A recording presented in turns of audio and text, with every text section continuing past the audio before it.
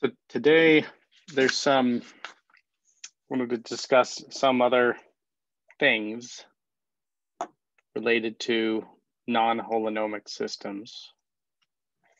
Um, and then towards the end, we'll get to the topic of small oscillations.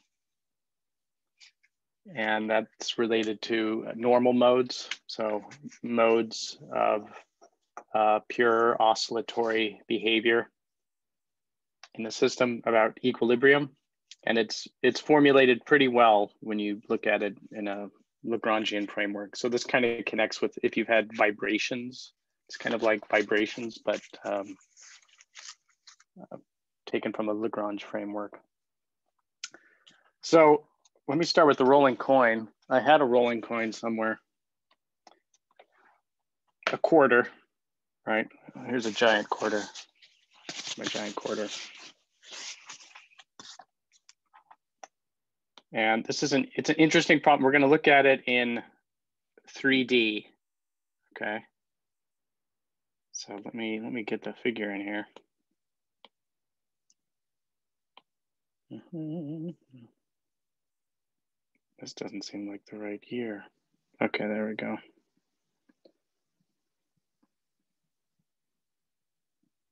Rolling coin. There it is.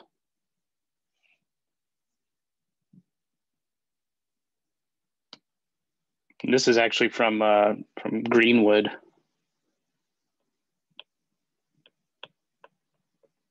It's figure 4.2. And the idea is we have a flat disk and it's rolling without slipping.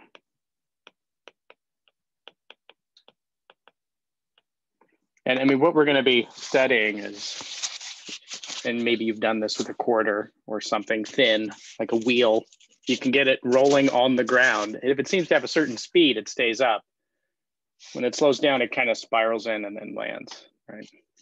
Falls flat. So we want to, we actually want to find out what's that minimum speed necessary to keep it rolling. So we've got a flat disk rolling without slipping, uh, but in 3D, and there's going to be some non-holonomic constraints.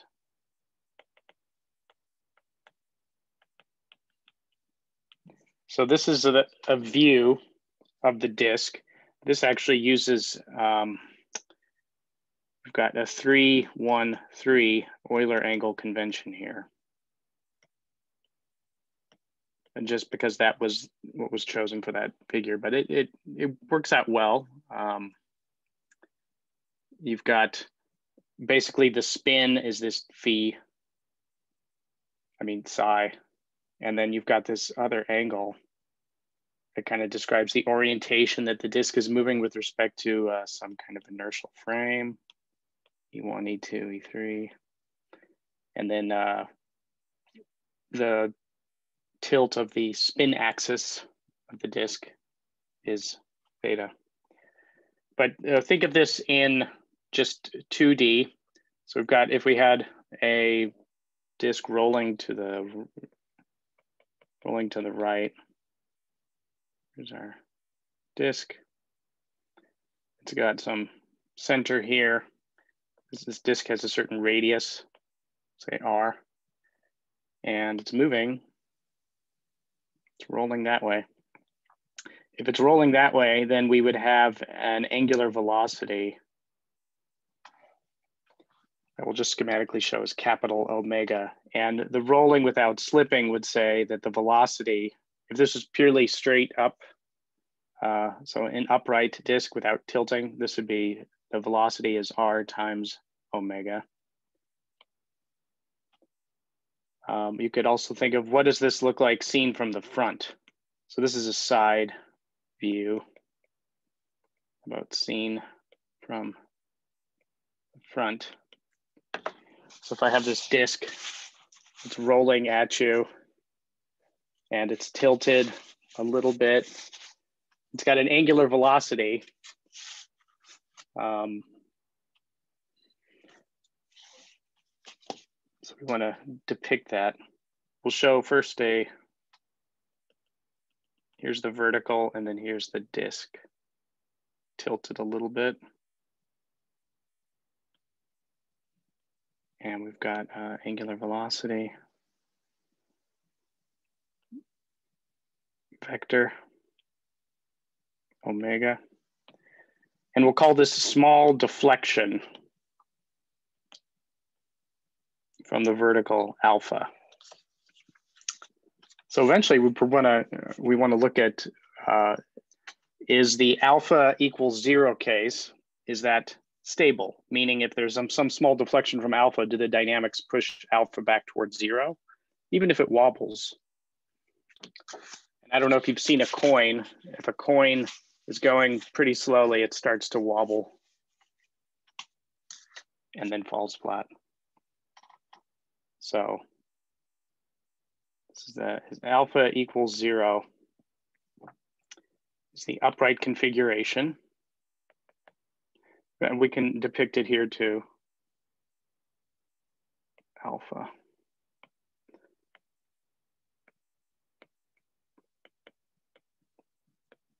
It's the upright configuration.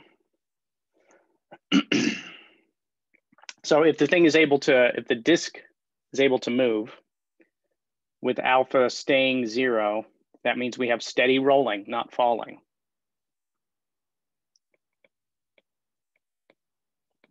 So if alpha stays near zero, we have steady rolling.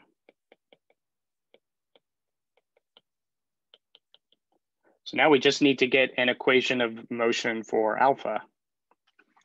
And you can you can go through this exercise. It's in um, it's in Greenwood. So essentially we're asking, is alpha equals zero stable? So as an equilibrium, is it stable? So after we, if we were to analyze this problem, and I'm not gonna go through uh, all of it in great detail, just you can work this out and the details are elsewhere. Uh, the dynamics for small alpha,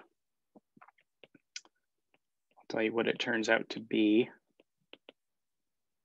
Um, and we're taking into account that this is a disk, so we're using, you know, what's the moment of inertia of a disk about its, about this direction you know, as it's spinning. And there's also gonna be some component moment of inertia about this direction. And we know those are related by a factor of two.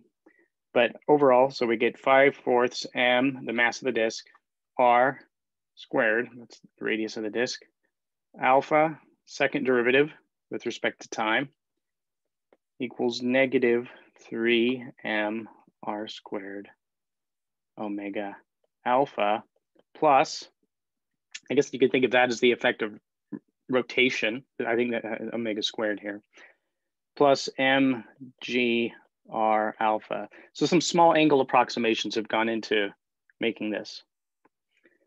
So, pardon me. If we were to, we want to write this in the form of alpha double dot equals something.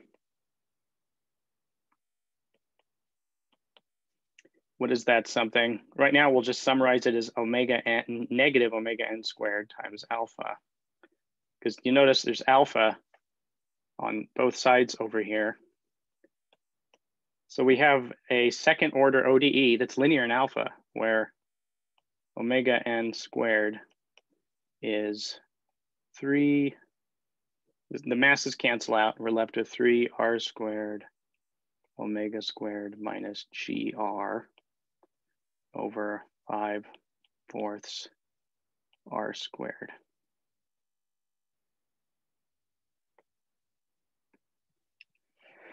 So this looks like a one degree of freedom problem. And we just want to know is alpha equals zero stable or, or not?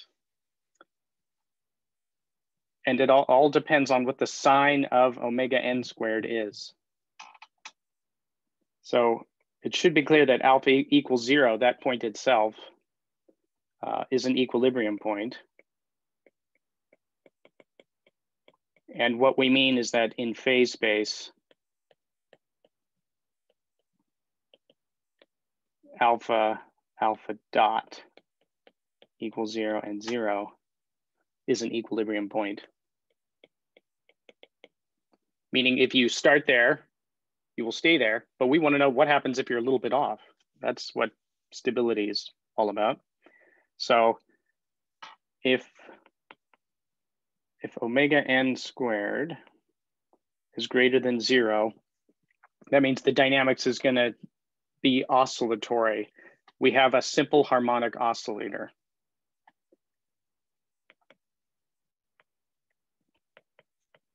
Solutions for alpha are oscillatory.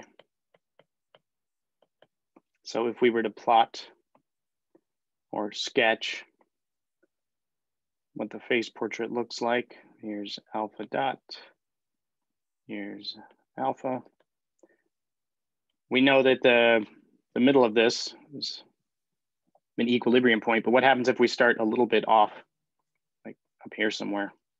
If we start up there, well, this, this is just going to oscillate around. And if we chose some other initial condition, say inside, it's also gonna oscillate around.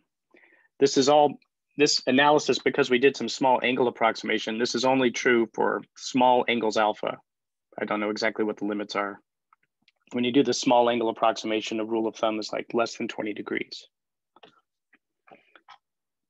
So we've got that. So we say it's stable. If it's oscillatory, that means it's stable. You'll see some wobbling. But uh, what about the other case? So if omega n squared is less than zero, then we'll have you know alpha double dot equals omega n squared. This is going to grow exponentially.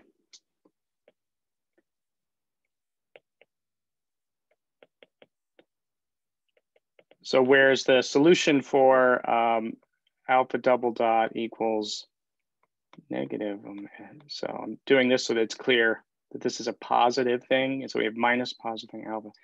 The solutions for that will be uh, sines and cosines. For this, the solutions will be hyperbolic sines and hyperbolic cosines, which means exponentials. So alpha will grow exponentially if we were to sketch the phase space. Still, we have an equilibrium point at the origin, but what happens if we start a little bit away? If you start a little bit away, well, that just sort of grows exponentially. So alpha will grow. That means if you start with a small angle, that angle will, is just going to grow. And so this thing falls over. Okay, that's curious. And uh, what does this have to do with some kind of critical speed? Well, the, the critical case is when omega n equals zero. That separates stability from instability.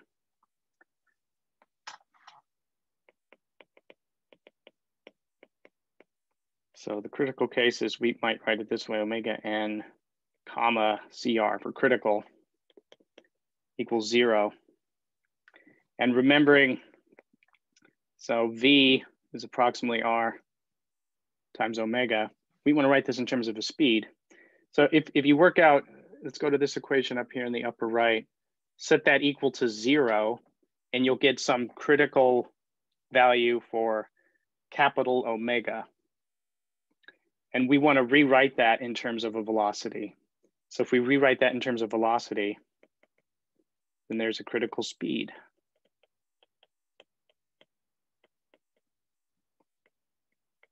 The critical speed, square root GR over three. So it relates to gravity, the radius of the disk, and, and that's it. So a rolling disc, or let's think of a rolling coin, is uh, is stable. It won't fall over, we mean, if the velocity is greater than this critical velocity. So there's some interesting interplay between moment of inertia, the non-holonomic constraint, and all that to lead to this result. So you can you can actually find out what is this critical speed for a coin. Um, a US quarter is a good coin. Thought I had one. Oh, there it is. Okay. Quarter. Look at that quarter. So if you measure the diameter of the quarter, it's about an inch, slightly less. So the diameter is 2.4 centimeters. So the radius, if we're talking about a quarter, the radius is 1.2 centimeters. So the critical velocity is, let's say gravity is 9.8 meters per second squared. We need to write this in terms of meters. So it's 0.012 and then three. What do we get? We get about 0.2 meters per second, which is, I don't know, something like 0.5 miles per hour. Nobody's clocking the speed of a rolling quarter in miles per hour, but anyway. So you could try it. I tried it and it seems to seems to work out. Um, let me show you.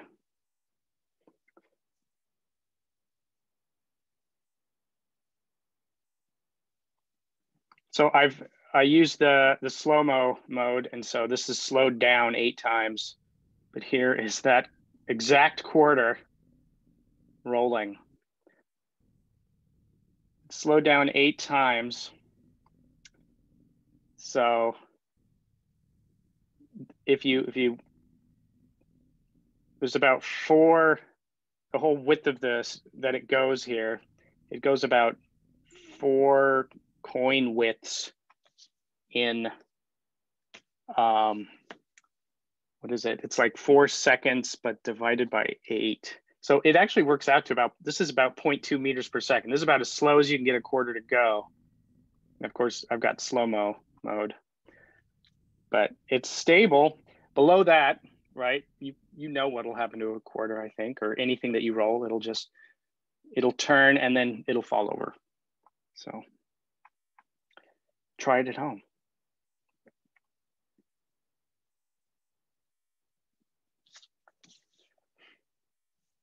So there's a critical speed and some interesting interplay of non-holonomic mechanics that leads to this stability. Um, I guess we could say this was experimentally verified.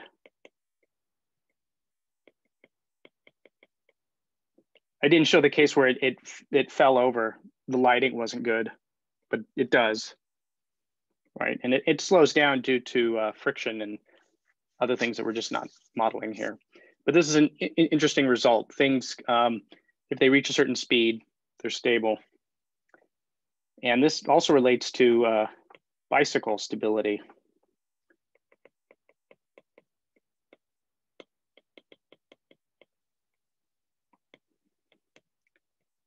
You can find a uh, critical speed for a bicycle. You know, it will move forward without falling over, without you on it. With you on it, it'll change the speed move forward uh, stably without falling over. And there's a professor, uh, Andy Ruina at Cornell, that was really interested in this problem. And uh, he heard some explanations for why is a bicycle stable and he, uh, you know, there's something wrong with them. So there was this paper, um, from 1970 in some physics journal. It's like a kind of popularized physics journal. And look at those old 70s photos. He claimed it had something to do with the contact point on the ground being off center of the steering axis and also something related to the gyroscopic force of the wheel which is I think important for the rolling coin.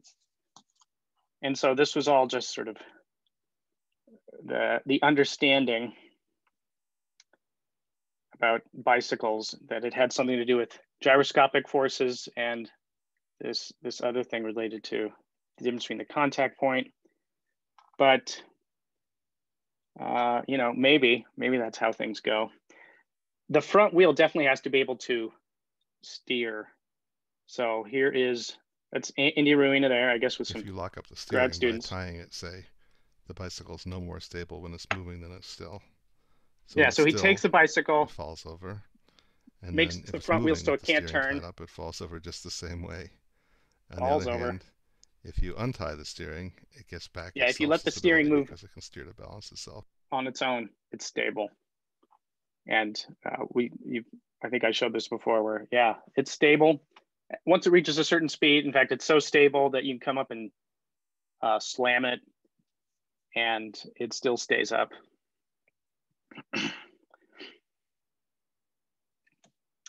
so that's pretty cool. So does it have to do with gyroscopic forces? So this is rare that anything related to bicycle dynamics makes it into the top journals of the world. This is in science from just a few years ago.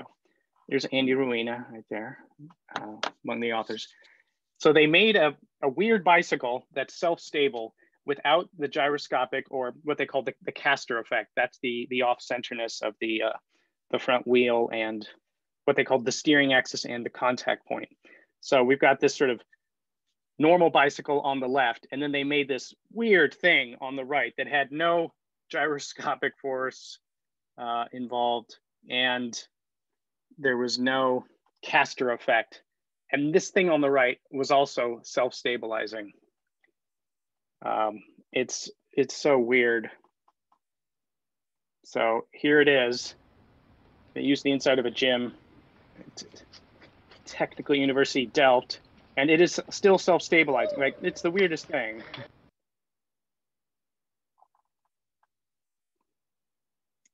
Um, what you could do is find the it's kind of like the analysis we did for the coin, where you find what's the equilibrium of going forward, and then and then uh, linearize about that and see if it's stable. So they, yeah, here's the thing they built to actually get rid of the, because the thing does roll, to get rid of the gyroscopic effect, they just had a counter rotating wheel right above it so that you get no gyroscopic effect. You look at eigenvalues as a function of speed, here, and there's some critical speed. I think it's this VW, you know, a little above two meters per second, where this thing it'll it'll go stably. And this is looking at real and imaginary parts of some eigenvalues. To actually write the equations of motion for a bicycle is horrendous and had uh, many, many, I don't think that, yeah, they definitely don't show it here, many, many degrees of freedom. Um, like they said, it took 60 pages to write the full nonlinear equations. And then interestingly, if any of you are familiar with the aerospace department, uh, Mark Psiaki is a professor there. Um, and this was his, I think it was his bachelor's thesis. He looked at bicycle stability and he probably wouldn't want me showing this to mom. Yeah, look at that. And it's all this, let's just get into the equation somewhere. Gosh, he's still just defining variables. Look at that, handwritten equations. I think he realized he had an error. So, you know, oh well. But uh, it's an interesting problem, stability of bicycles. And it's not, it's not intuitive. We can't describe it in terms of a gyroscopic effect, which uh, despite you know, it's kind of on the edge of our understanding how a spinning thing can kind of self-stabilize, but that's not the effect going on. It has to do with just the fact that you have two points of contact with knife edge constraints. So there's no simple explanation for why the bicycle is stable. Sorry. Um, it's just an interesting non-holonomic dynamics effect which makes you wonder. Hmm. Um, and you might think, you know, I, I, don't do anything. I don't do any research with stuff that's rolling. I look at uh, aquatic animals or something. I'm trying to make a robotic fish. I don't know if that's you. But there is an interesting analogy between non-holonomic rolling systems and aquatic locomotion. And I'll, I'll share that with you. Uh,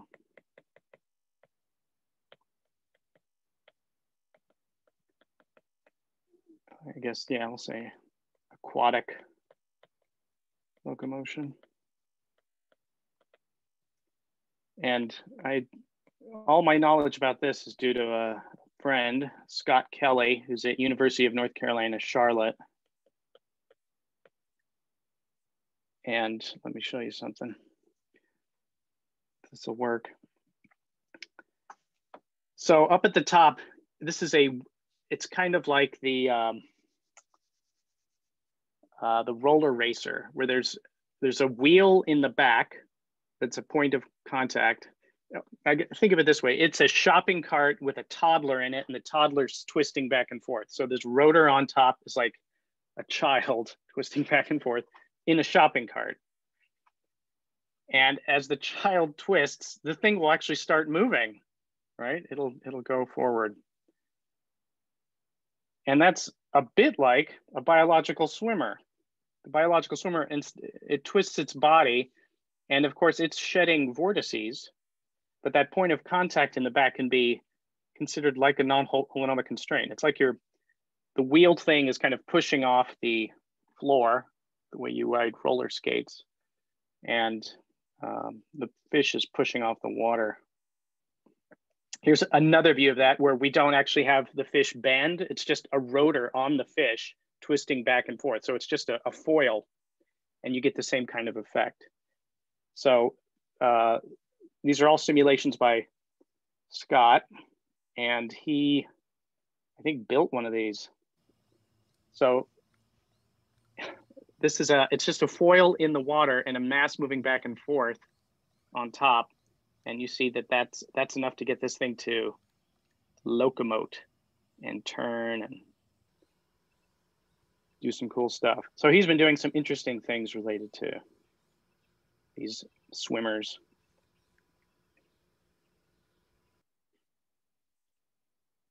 There's some other, and we're not sure why there might be any parallel here, but small microorganisms like a paramecium, they seem to move along. They're kind of these oval shaped things that want to move in the direction of their oval shape, but they create these tracks that look a lot like the tracks you would see from a non-holonomic system.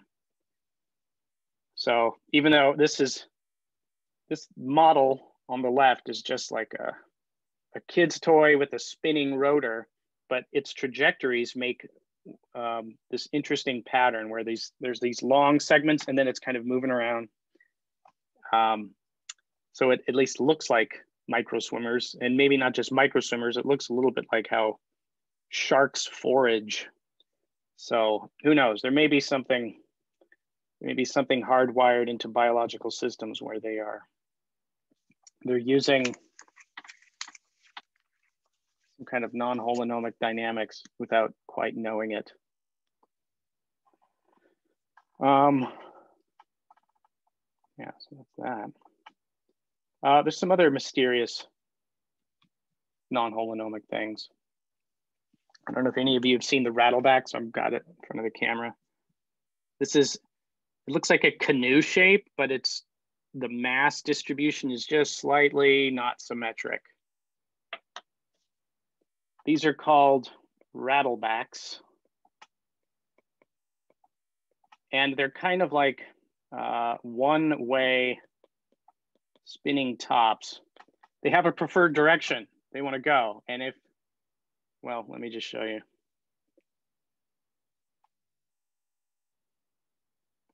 Uh, yeah, so here, this is another of my films. So if you spin it one way, it stops and wants to go the opposite way. So this thing likes turning counterclockwise. So if I start it counterclockwise, it's fine, it's happy. But now if I get it going the other way, now I've slowed it down so you can see what happens it's like it goes from turning clockwise to this rocking mode, and from the rocking mode, it starts turning counterclockwise.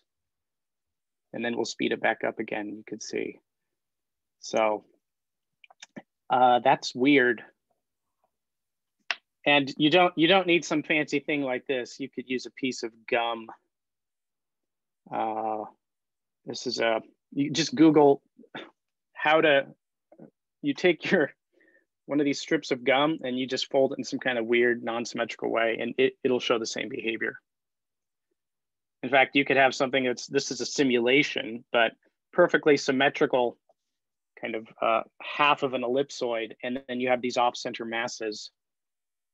And that's enough to get it going into this rocking mode and wanting to go the way that it prefers. It's not scale dependent either. So you can make gigantic ones. Somebody, it's like somebody used a 3D printer and just went um, crazy. Uh, not sure the practical use, but a curious behavior. In fact, you can learn a lot from these toys. This thing, I think, started out as a toy. Uh, I wonder if this one works. Yeah, you could bend a spoon and I mean, I'm not advocating the destruction of spoons, but yeah, the spoon shape, he gets it going here. Okay, let's hear the explanation. And I think it does multiple turns, so that's weird. And in fact, it's like an open research question. How do rattlebacks work? Because you'd have to model the six degrees of freedom for, for the rattleback. I don't know if it has some other name. I think it does. Something having to do with stones. I think this started out, they, they there were some stones that people found, smooth stones uh, at the bottom of a riverbed, and they noticed they had this unusual property when you would spin them. So, all right. All right, so we're gonna talk now about small oscillations and normal modes about uh, equilibria.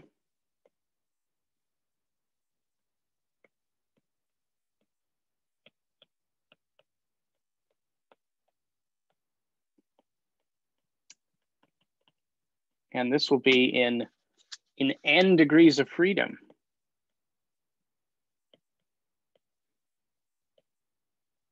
So several problems that we've uh, talked about, you, you're able to find what the oscillations are in one degree of freedom. You just kind of linearize, like if your variable is x, then you'll turn this into x double dot equals some function and usually we've been writing it as negative omega n squared x.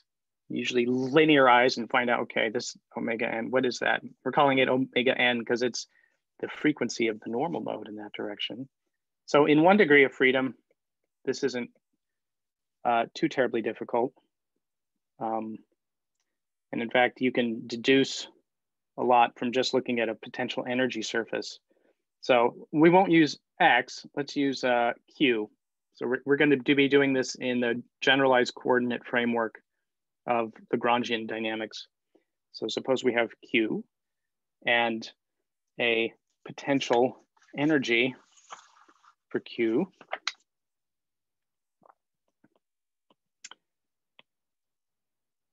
And if it looks, I don't know, something like that. You could identify where the equilibria, it's the, these critical points and of course, the hilltops will be unstable. If you're a little bit away from it, you'll move away. And the valleys, valley floors will be stable. So you could identify things that are stable and unstable.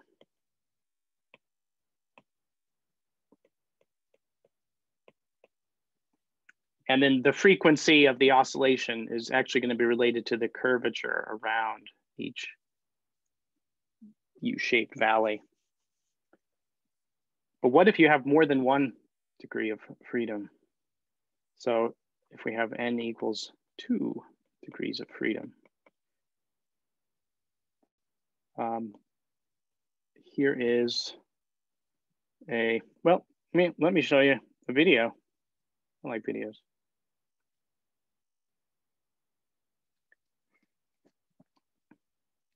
This is a, a surface that a colleague of mine, Lawrie Virgin at uh, Duke, um, it's, it was a solid piece of Lexan. It's about this big on each side. And he created this uh, uh, using a CNC milling machine, created this potential energy surface. And if you put a marble on this, it'll it'll move around just like uh, any any two degree of freedom situation. So this was released and you can see there's there's several different types of equilibria here, but eventually this will settle down in one of the four. There's like four bowls connected by uh, saddle points and then a hilltop in the middle. And this will eventually, because of friction, you know, settle down in one of the bowl shapes. Um, and since we did say bowl, I like this video. I don't know how many times they had to do this. Just throwing a bowling ball in like a swimming pool thing and strike. Nice. So you could think of a, you know, an actual ball moving in a two-dimensional potential energy surface. That's that's good, but there, there's other situations like ship dynamics. If you think of a ship, a boat, and you know, the two degrees of freedom are say roll and pitch. Um, you could look at the potential energy surface that's given by buoyancy and other effects. And here it is. So this is a potential energy surface where I think it says X and Y, but really one of them has to do with pitch, the other has to do with roll. I think it's this degree of freedom here. This is actually the uh, roll degree of freedom. And then we have pitch. And then just to uh, show you, you know, where the, here's a, there's an equilibrium right in the the middle where the ship is upright. And that's where you want to be if you're on a ship. And then there's these saddle points, which are sort of critical points. If you cross them, then you have capsized and you'll sort of be on your side and that's not good. So um, near this stable equilibrium point, there's going to be there's going to be um, you could find two frequencies. There'll be a frequency related to the natural roll motion. So a ship, right, roll back and forth. And then there'll be another direction that's related to pure pitch. Oops. So you'd have omega due to pitch. So there's two natural frequencies and they're related to what's the shape of the the paraboloid that closely approximates the U shape of the potential energy surface at that equilibrium point. Um, and it's known in ship dynamics that if the ratio of these two frequencies is a rational number, then you can have problems. So if you have omega roll, omega pitch is equal to, you know, a rational number, like, you know, one half, two thirds, or even if it's close, this leads to trouble. It's called uh, parametric resonance. And this phenomena is one where it sort of makes sense if, if you're on a ship and you have a wave coming from the side that could kind of get the roll motion excited and then you would perhaps capsize. Um, but the same thing can happen with pitch. So you could have you could steer your boat into waves and then get the pitch excited a lot. And due to this parametric resonance, there's some, the motion in pitch could actually become motion in roll, and then uh, you'll still capsize. So that's why it leads to trouble. So ship designers try to avoid this criterion, try to stay away from the ratio of those two frequencies being a rational number. Um, but we're, I'm trying to motivate right now just the idea of potential energy surfaces and that there are frequencies and we, we will be able to calculate what these frequencies are and the uh, modes of, of motion. For a ship, it's kind of uh, intuitive. There would be pure motion and roll and pure motion and pitch. For other systems, it's maybe not so uh, obvious. So what if we had three or more degrees of freedom? Then we can't even draw a 2D potential energy surface. So we might say, oh, what do we do now? I don't know. Let me give you a situation. Here is uh, three pendula. So suppose I had three pendula and then I connect them by springs. So this is three degrees of freedom, these three angles. The motion, um, the pure motions are not obvious. Um, it, it turns out there are as many pure motions. And by that, I mean it's periodic in that motion as degrees of freedom. So in this case, there are three pure motions of the pendula.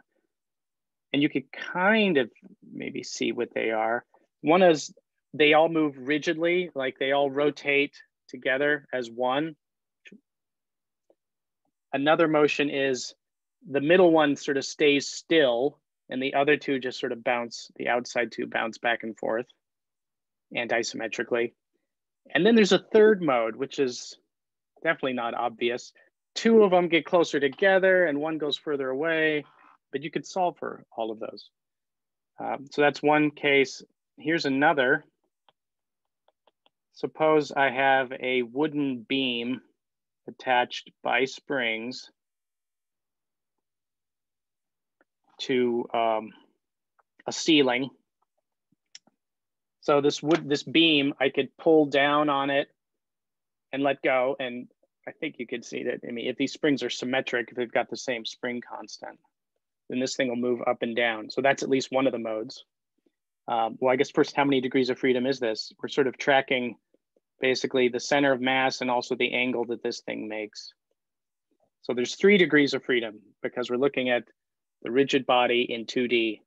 So it's got two translation and one angle. Um, but the pure motion's about the equilibrium. Equilibrium is you let go of this, what does it do? It's just gonna kind of settle down. There's up and down pure motion, but what are the other two? I, it's not obvious. You might think, well, they're side to side, but then what's the other one? I don't know. I'll give you a hint though, side to side, pure side to side motion is not one of the modes. So here is how we do it. Um, even if we can't visualize the potential energy surface,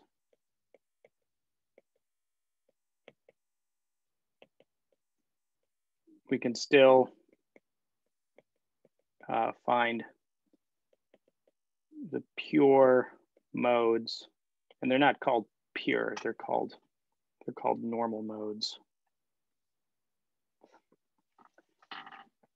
Motion in a circle, no, no motion in a circle. I would actually love it if someone could build this. And then I could, it kind of looks like a uh, modified version of a swing or something like a deck chair that's connected to the top of the patio. All right, so we'll first look at one degree of freedom, work this out, and then generalize to n degrees of freedom. So in one degree of freedom, what do we have? We'll call it Q1.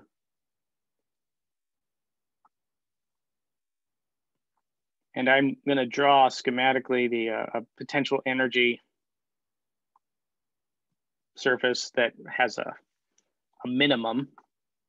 They don't always have to have a minimum. So this is the potential energy drawn as a function of Q1. This minimum point, we'll call that Q naught. So Q naught is the minimum of the potential energy. It's an equilibrium point.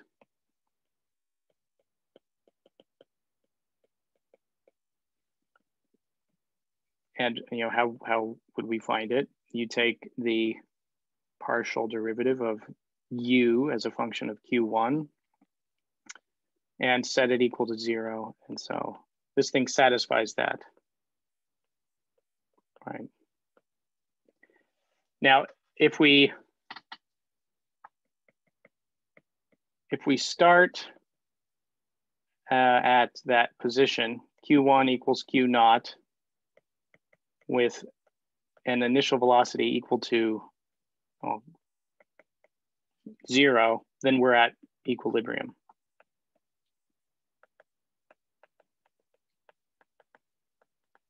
But what are the small oscillations? What's the frequency of the small oscillations? So using our, hopefully you remember when we said from the potential energy, if we just have one degree of freedom, you could sketch what the uh, phase portrait looks like, just qualitative things. Like in this case, around Q1, sorry, around uh, Q naught, you'll have closed curves. And maybe things break down once you get to sort of large enough amplitudes, but we're just talking about very small, you know, what are the small oscillations? So to analyze the stability, we will do, let me kind of put this there, keep it on the screen. To analyze stability, we do a Taylor series expansion.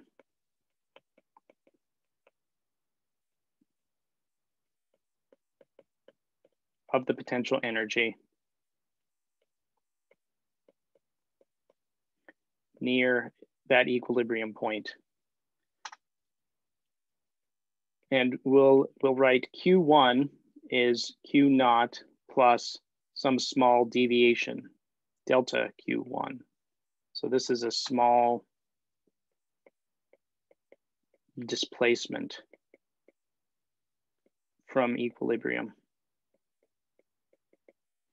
Let's sketch things up here. Um, so we might need this later. What is the value of the potential energy at that minimum?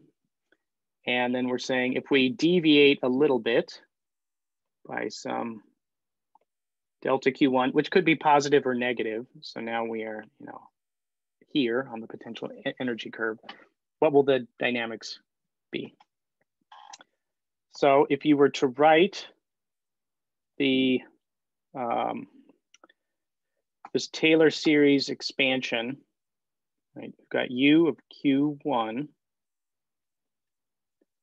And the way the Taylor series expansion works is you just, you look at the, uh, we're talking about a scalar function U evaluated at the point of interest, Q naught, plus, and now we just start taking derivatives in a certain way. Partial u partial q1 evaluated at q naught times delta q1 plus 1 over 2 factorial second derivative of u with respect to q1 evaluated at q naught times delta q1 squared and uh, so on. We'll just use this uh, uh reminder, things of order q1 to the third. Because we're assuming a small displacement so that all these higher order terms uh, are less and less significant. Okay, what, what can we say about this Taylor series expansion? Well, this is a constant. It's not a function of the small displacement. So it's not going to be important for the dynamics. We don't care about what that constant value is. So we're going to ignore it.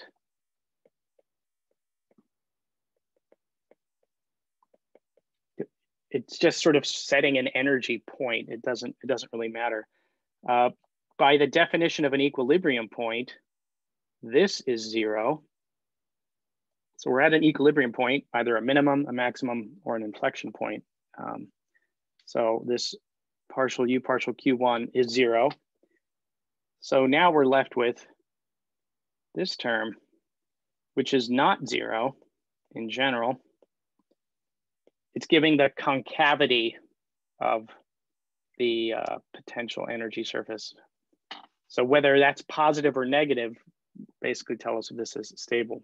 We, right, if we're at a minimum, then this will be positive, will be concave um, up. But from its quantitative value, we can get some things as well.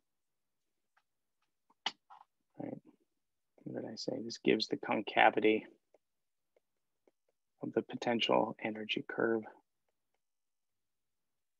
And then these terms, we're just, they're small enough, we ignore them.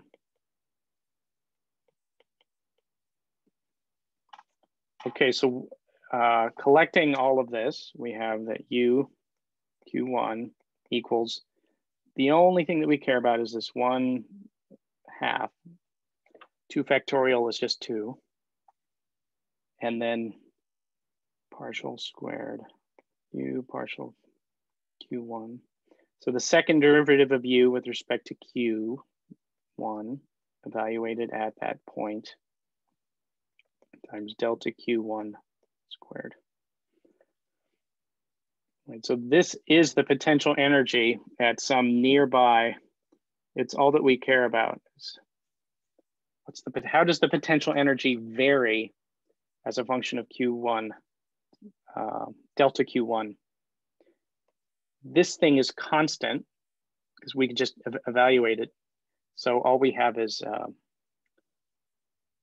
something that's quadratic in the small displacement. So what is the what is a Taylor series doing? If we were to kind of zoom in on what's happening near that equilibrium point, say we've got a curve that looks like that. That's the true curve. The Taylor series expansion gives a local approximation. So it's a this is what one half second derivative of u with respect to q1 squared evaluated at q naught.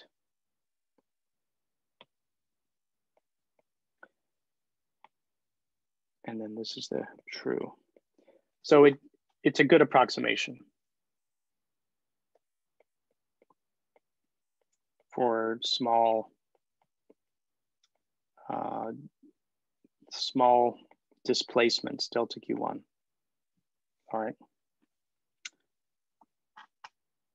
And this concavity thing, right? If this second derivative is greater than zero, then, and that's what I've been sketching. That means we've got something that's concave up. So we have a stable point. If the second derivative is negative, then it's concave down. So it would be unstable. And if it equals zero, you have an inflection point which would be, I just say it's unstable.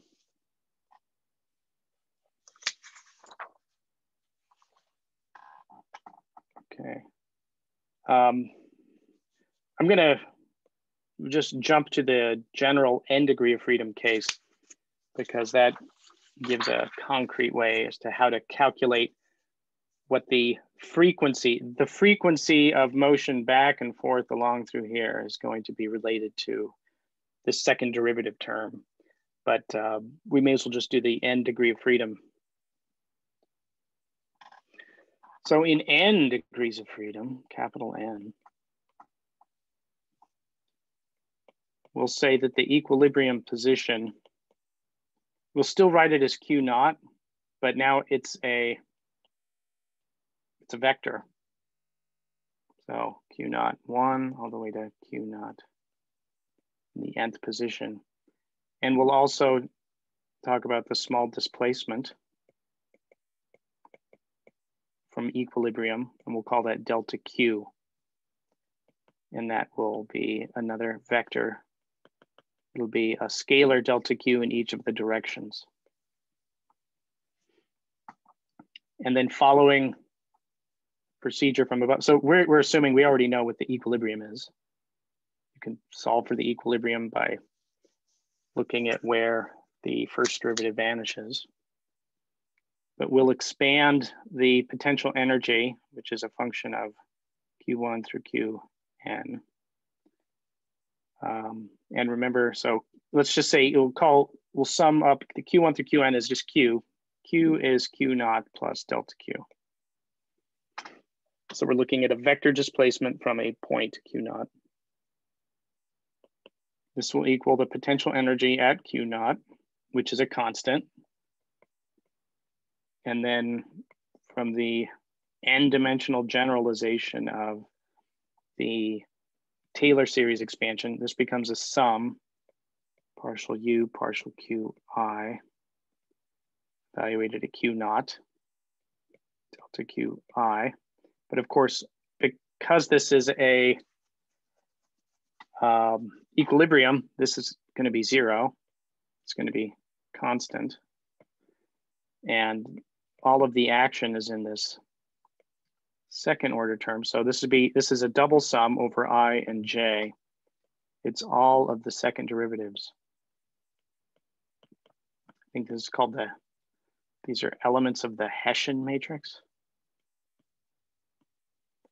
We evaluate these second derivatives at the equilibrium point, and then this is time delta qi, delta qj.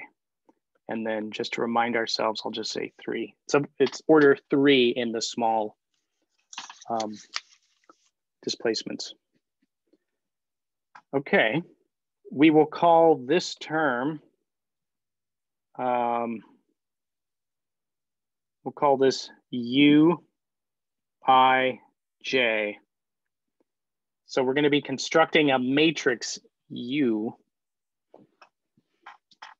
Um, but let's just write the potential energy near the equilibrium point, we'll be able to write as it's one half this double sum, ij delta qi, delta qj, where uij is just the second derivative of u with respect to the i and j generalized coordinates evaluated at the equilibrium point. So, right, we've dropped this constant term, this thing zero, so that's what we're left with to second order. So to lowest order. Um, for each coordinate, we've got the displacement And if you were to take the time derivative, so d by dt of that, you've got qi dot equals, well, the equilibrium position, that thing is just zero, plus delta qi dot. So qi, I mean q dot, the vector q dot is the same, well, qi dot is delta qi dot. And that's going to be important because we could also expand the kinetic energy. And I'll just give you what the answer is. If you expand the kinetic energy, right? This was just potential energy, but you got to deal with kinetic energy too.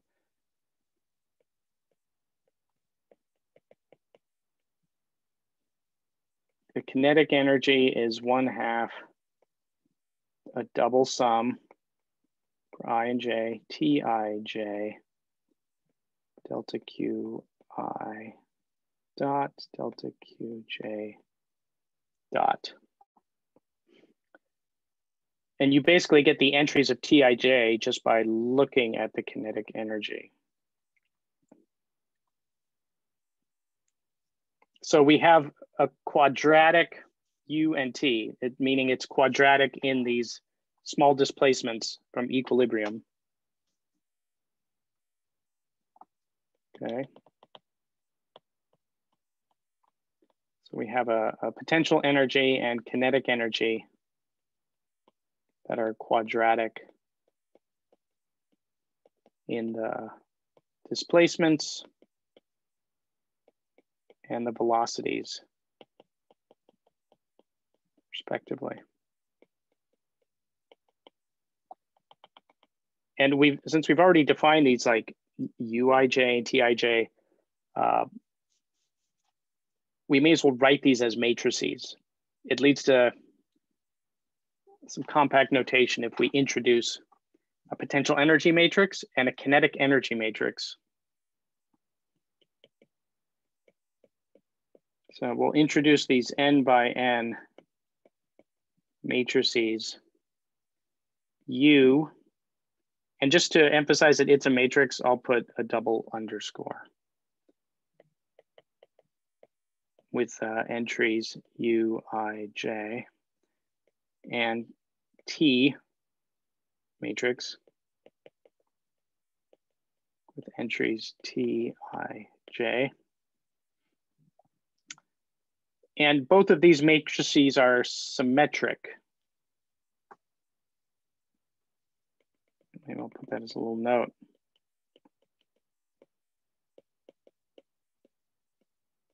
Right, so if you take T transpose, you get T. U transpose, you get U. We can write the Lagrangian in terms of right? This U and T in the usual way.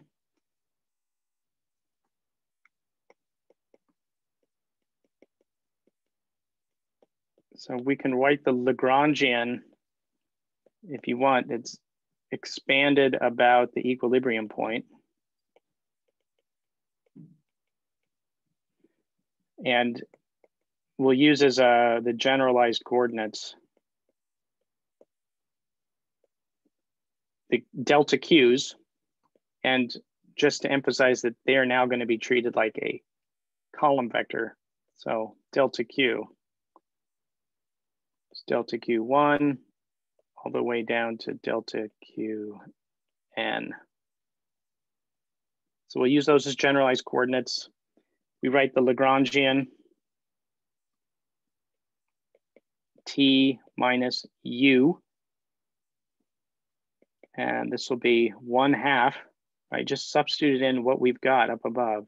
There was an overall one half, a double sum, Tij delta Qi dot delta Qj dot minus Uij delta Qi delta Qj. And then this looks really nice if we write it in um, vector form. Uh, I mean, sorry, matrix form. We have one half delta Q dot transpose T delta Q dot minus delta Q transpose U, the matrix delta Q. So that is our Lagrangian near the equilibrium point. And if you were to write Lagrange's equations, you could summarize them in matrix form.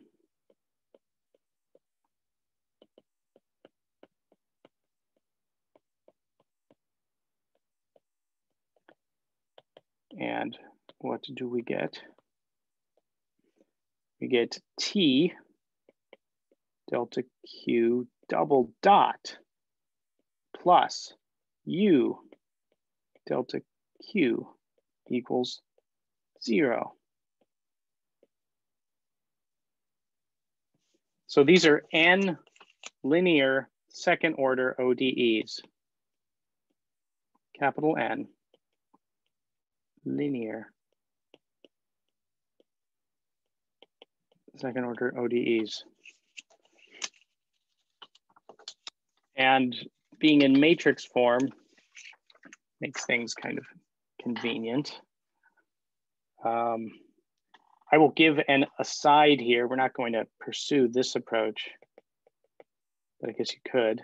If you said that, so if you want to put this into kind of a form that maybe you've seen before, if you say X is delta Q, and we want to put this in the form X double dot equals A X, then in, in this case, you can do some matrix multiplication. You'll see that A equals negative T inverse times Q.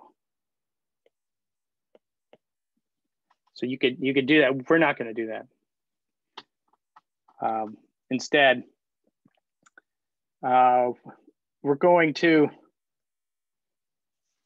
we're going to assume that we have oscillatory solutions. So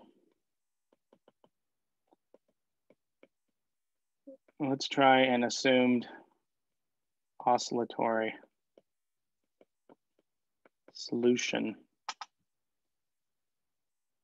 Uh, and, and I'll call this equation star up here in star. So we'll say delta Q J as a function of time is some constant C times AJ cosine omega T plus phi where here j goes from 1 to n. And what we've got here is a, we've got uh, this phi is a phase. Omega here is some frequency of motion. Um, C is an overall scale factor.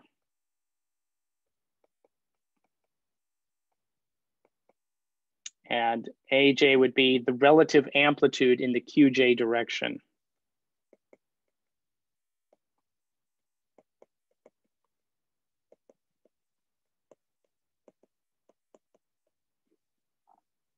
If we assume this, and then plug it into our equations of motion, that start equation, then um, we get a relationship between what the frequencies and the amplitudes have to be. So, right, we're trying this assumed solution in star. If you do plug it in, then you get that the relative amplitudes,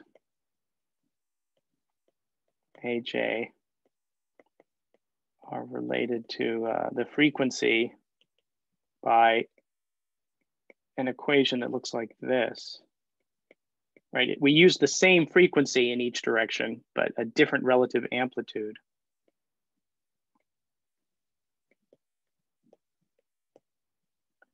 Um, we'll call this matrix of A's, right? It's just the relative amplitudes in each of the directions. This is looking like a eigen vector equation.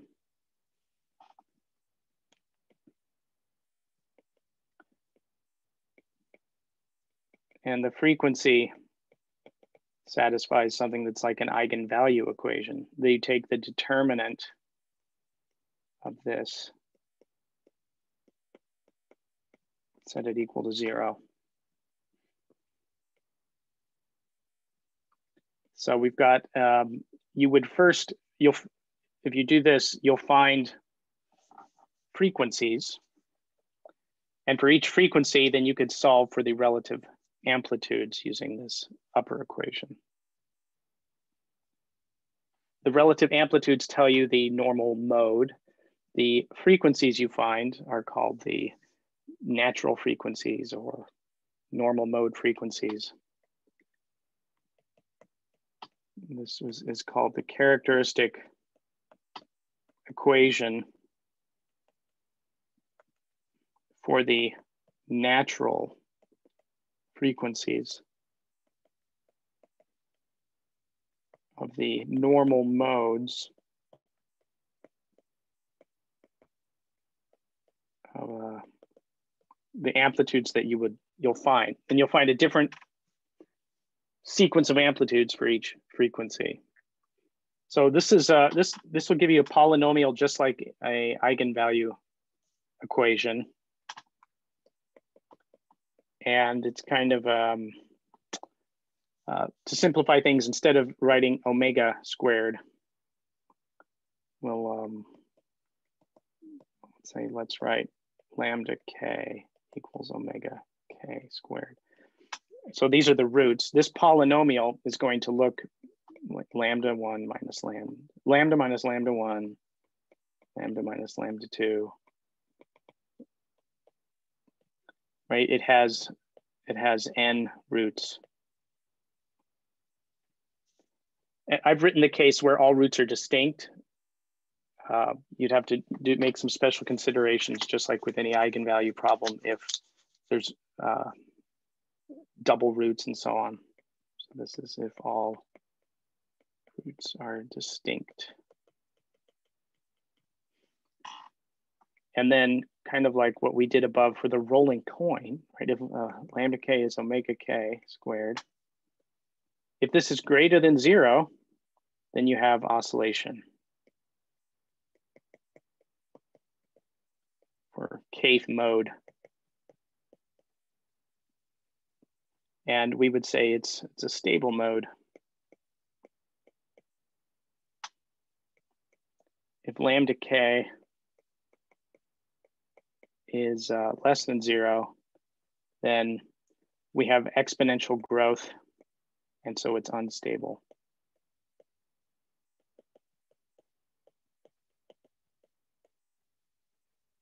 Mode. And now we do consider the case of if this is equal to zero, we get steady drift. Um, we might call it neutrally stable. Or it's sometimes called a rigid body mode.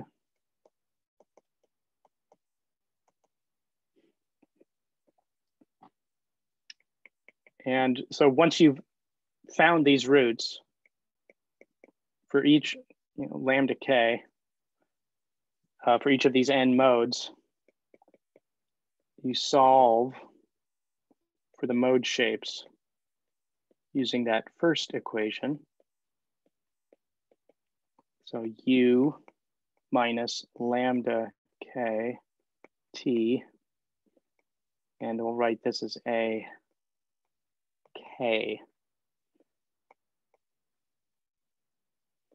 So solve for, solving for a k is like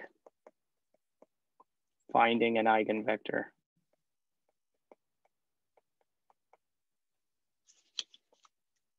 And it's going to be right, an n-dimensional vector of modes.